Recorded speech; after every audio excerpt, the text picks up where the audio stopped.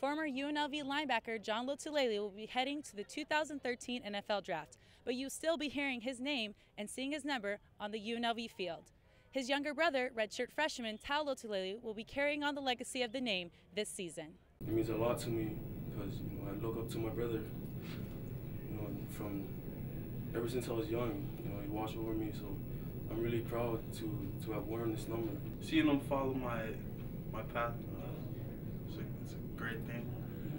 Uh, you know, I, so that's what I expected. I can see myself in him, and that kind of motivates me too. And Tau reminds us how much he looks up to his big brother. I just want to follow his footsteps because I know the path that he has taken. It was rough, but it came out it came out good for him.